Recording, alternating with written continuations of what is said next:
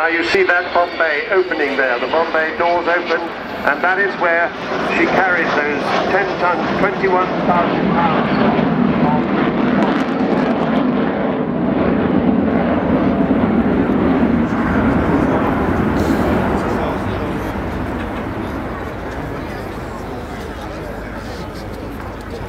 Now it's too far away to see, but if you were to look closely inside that bomb bay, which you can do when she's um, on the ground, you will see that it is completely covered with the name